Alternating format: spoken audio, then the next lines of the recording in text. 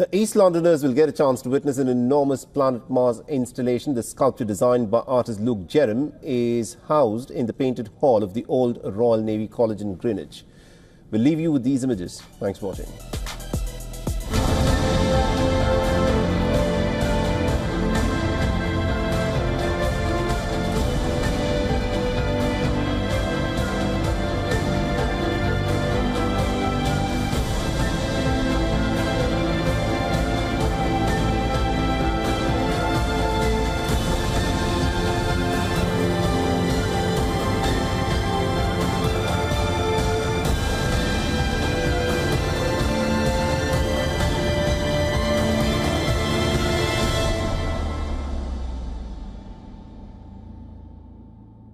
For all the latest news, download the WION app and subscribe to our YouTube channel.